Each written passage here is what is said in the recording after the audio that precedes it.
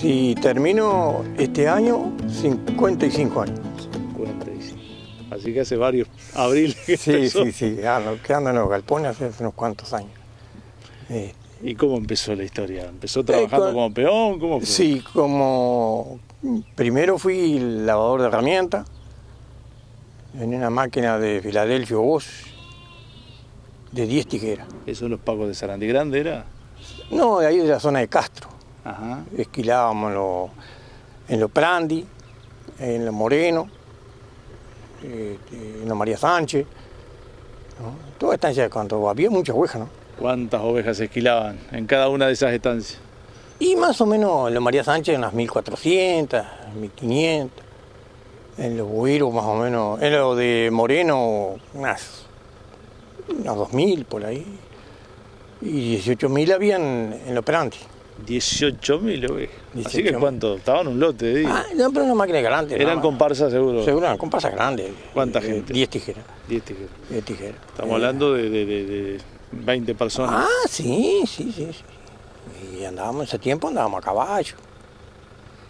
Este, la, la máquina tirada por un tractor con ruedas. Le sacaban las ruedas para esquilar. Sí, le sí. ponían unos tacos y ahí esquilaban. Así que empezó como, eh, Como lavador de como herramientas. lavador de Sí, herramientas. y después, y, y me fueron enseñando Ajá. a esquilar y, y me enseñaron a- también la parte mecánica que me gustaba, me gustaba mucho. ¿no? Y después, bueno, eh, hice varios años ahí y después me largué a esquilar. ¿En qué año se, se largó solo con su, con su comparsa? Ah, con mi comparsa fue en el año 68. Ajá. Ahí no, no esquilaba más, estaba manejando sí, la comparsa. sí, no, cuando faltaba alguno en aquellos años yo esquilaba. ¿no? Porque me gustaba y me sigue gustando, ¿no? Pero los años me, me han traído que no, a no esquilar, ¿no? Sí, los problemas de columna, la cintura Sí, sí, es, difícil, sí, ¿no? Sí, sí, no, no. Y esto es un trabajo duro, un trabajo duro. Es un cansancio que, que agotador, ¿no? En aquellos años era distinto porque era en verano. Empezaba a mediados de septiembre, el primero de octubre ahí, y los íbamos hasta noviembre, diciembre. Ahora cambió con la preparto. Con la preparto cambió, sí. El, el sistema de la preparto está muy lindo, ¿no? pero falta, falta, falta, falta, falta todavía comodidad para Sí, sí, sí. el obrero, falta, falta mucha comodidad todavía. Seguro en los inviernos se hace difícil en los galpones de esquila sí, los galpones y, y- y pa- para comer abajo un árbol, y esos días de temporal y todo eso. Hay muy pocas estancias que tienen la comodidad. No sé si es porque el tema de la oveja se va quedando medio atrás, ¿no? pero lo que es, igual que para alquilar en esta época, hoy de mañana nomás, perdimos casi toda la mañana por la humedad. Por la humedad, seguro. Tiene que estar seca la lana. Tiene que estar seca la lana así para, para fardar y eso hay que estar. Comienza la actividad entonces, si fuera normal, eh, temprano, y, y cómo, cómo, cómo rinden. Eh, ¿Por día cuántas ovejas se hacen? Bueno, depende, depende del día, pero más o menos, más o menos andando normal, yo hago 500 ovejas. ¿Con cuántas tijeras? Eh, Con, cuatro. cuatro, con, Con cuatro, cuatro, sí, sí. con cuatro tijeras. Y el problema de gente, veo que hay por todos lados y para todos trabajos. Ujú. No se consigue gente, es No, difícil conseguir. Es muy difícil. Se han achicado las comparsas. tengo, tengo ahora, tengo, tengo la gente de salto. Son todos los cuatro que tengo alquilando, son salteños los cuatro. Mire usted. Y el canchero.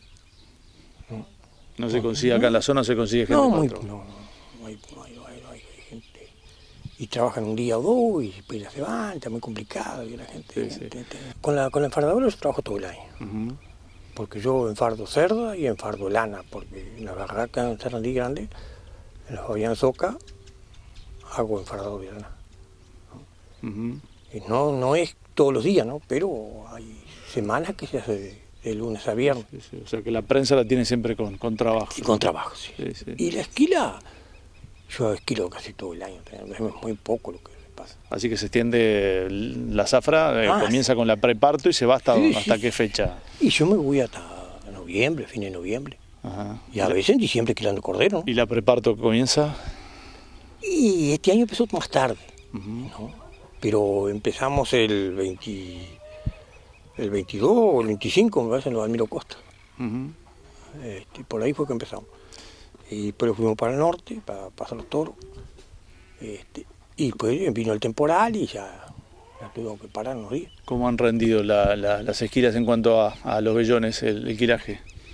Y muy poco, muy, muy bajo, porque muy lavada la lana, mucha agua. Mucha agua y la majada tan, tan, tan débil. Mucha agua ahora en este último periodo. Seguro, ¿no? sí, Pero sí, después de sí, la sí. seca, Seguro, pero quedaron mal, las majadas Mm. quedaron mal, las lanas están mal, tan livianas, tan.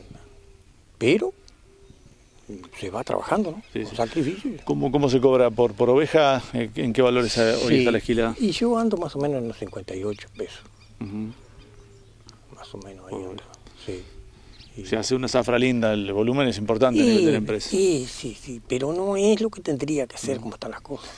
¿no? Muy cara la herramienta, muy caro los gastos de la bolsa, el alambre, y todo origina gasto. ¿vio? Y, y usted te hasta días y horas parado a veces por humedad, con un sol brillante, pero no puede porque ya están mojadas. La bolsa y el alambre para el empardeador lo pone usted también. Eh, ya, sí, sí, Ajá. yo le pongo todo. Y usted dice no se consigue gente para trabajar, pero se paga bien este trabajo, ¿no? Y pagar se paga bien, sí. Lo que pasa es que, es que la juventud no quiere. Sí, sí. sí. ¿Qué, qué, qué está cobrando más o menos un operario, un esquilador, por ejemplo? 20 pesos. Por oveja. por oveja. 20 por oveja. Y lo de la mesa, 2 pesos. Y uno sacan un jornal lindo, me parece a mí, ¿no? Por día, ¿no? Seguro, entiendo que, que hay días que se rinde muy poco, ¿no? Sí, sí, sí, sí. Pero el día que se esquila, más o menos, se esquila. Resulta. Más o menos anda ahí entre aquí,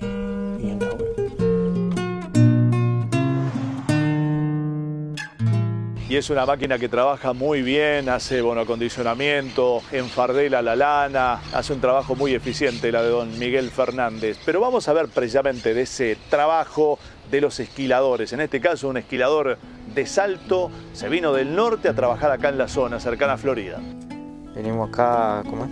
A, a- a trabajar porque acá se paga un peso más que allá, por eso vinimos. Sí, ¿Cuántos años hace que estás dedicado a- a la esquila? a la zafra desde el 2009. Ajá. Sí, Empezaste allá en, en el norte mismo, en, en Salto mismo. sí en el Sarto y fui, anduve en Argentina también, en. Patagonia. Sí, Ah, en la Patagonia has sí, estado Patagonia, trabajando. Sí, Y eh, eh, el mejor lugar para trabajar, por lo visto, es acá. Y, y sí, por lo menos, sí, se trabaja bien, sí. Sí, sí. Sí. ¿Cuándo- ¿Cuántas ovejas haces por, por zafra, más o menos? Y ya según lo, sí. Pero más o menos, eh, digo, es un volumen importante. Y ¿no? se saca más o menos 8 mil o 9 mil más o menos. Sí. Y desde el punto de vista de- de- del trabajo, desde el punto de vista físico, es, es cada vez más exigente. En la medida que van pasando los años, se siente cada vez más el trabajo, porque es un trabajo duro. ¿no? Sí, se empieza a sentir, sí. La cintura. La cintura, sí. Sí. Ujú. ¿Y por qué ves que, que hay poca gente que se dedica? Porque es un, es un rubro bien pago, si se quiere. ¿Por qué hay poca gente que se dedica a esto? Y bueno, y seguro la, la, la muchachada nueva ahora hacen escuela, pero a veces no tienen oportunidad, o sea, consiguen algún otro trabajo. Y en trabajo medio bastante aguerrido, ¿no? Sí, las condiciones, además de, de- de- de- de estadía en algunos establecimientos donde a veces no hay las comodidades necesarias, eso también complica, Sí, ¿no? Seguro. Y un trabajo sufrido, ¿no? Sí. Hay que gustarle también, ¿no?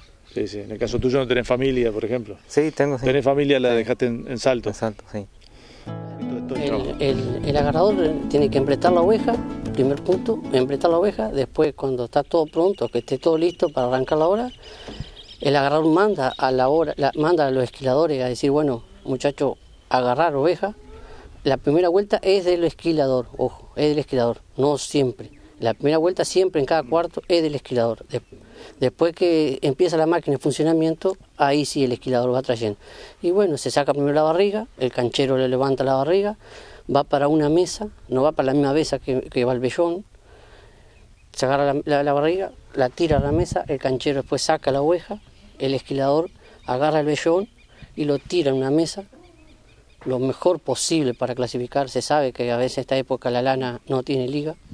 Después nosotros clasificamos ahí, le sacamos, le bordamos la parte de puntas quemadas y después lo, luego sacamos para pedazo, barriga y garreo. Son las categorías que nosotros hacemos. Y lunar, inferior, la resistencia de la lana cada categoría se identifica en el fardo, si es borrego, si es maja de cría, si es capones, carnero, eso se, se, acondiciona, se clasifica y van, cada fardo va identificado, después se hace un romaneo, se le deja una copia al estanciero y otra copia me llevo yo, para cuando vengan a levantar la lana, dice, bueno, tengo tanto fardo, ta, ta, ta, ta, ta, ta, categoría, no tienen cómo ahorrarle. Sí, sí. Pero bueno, todo este pedacerío que va en, las bolsas, te digo, de, polietileno, ¿no? que están al, costado de, de, la mesa, digo. Eh, eh, esto después Eso después que se termina, más o menos, si hay dos bolsones sale un fardo, de cada categoría sale un fardo. De esta categoría, ¿sabes? Sale, hay dos bolsones de pedazo, el mismo operario de la enfardadora agarra y se agarra y enfarda. si hay de barriga, todos, todos se enfarda. Lo último que se enfarda es eso porque hasta no saber bien, no no sabes cuánto, pero más o menos... Pero por eso se van enfardando los vellones. Ah, en principio se, van, se van enfardando. se va enfardando siempre. va, entrando y se van enfardando. Directo a la prensa. ahí está, directamente. Sí, sí, sí, sí.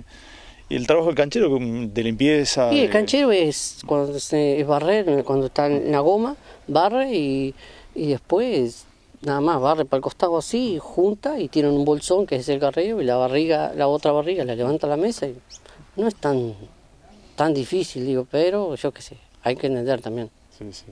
Son buenos los esquiladores, son salteños, decía. Sí, por suerte este segundo año que tiene eh, mi padre y yo tenemos gente del norte y toda la mayoría este año por suerte son todos del norte. Un grupo lindo se armó, hay gente de Salto, hay cinco, cuatro esquiladores, eh, son de afuera, de interior, algunos de Salto, pero después el canchero también es de Salto, y dos operarios de Durazno, y mi viejo, el cocinero, y yo somos los únicos de, de Sarandí que vamos quedando, batallando ahí. ¿Cada cuánto se para, me decías, cada cuarto? Y el cuarto son dos horas y media. Dos horas. Se arranca, a las seis, se para a nueve, ocho y media, se come el asado, se arranca a las nueve hasta once y media, y después a la una, tres y media, hasta, arranca a las 4 hasta 6 y media. Se divide en cuatro, eh, partes la, la, tarea. En el día. En el día, ahí está, seguro.